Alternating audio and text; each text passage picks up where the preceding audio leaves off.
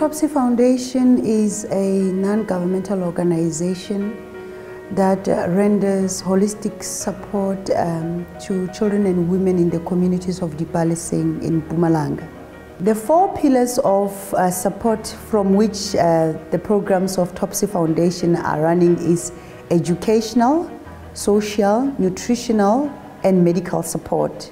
How we roll those pillars out is by offering educational support to the early childhood development uh, centers in the communities where more than 2,500 children are getting support.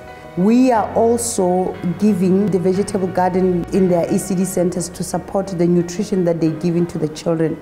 And apart from that, Topsy Foundation has got a model of doing play and learn center where the children are coming through to a health and stimulation center of Topsy Foundation they are being assessed physically, and if we find out that there are some opportunistic infections that children are having, we offer them opportunistic infection medication.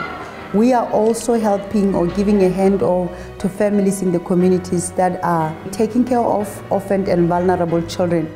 Total beneficiaries on a monthly basis are around 8,000 um, people a month.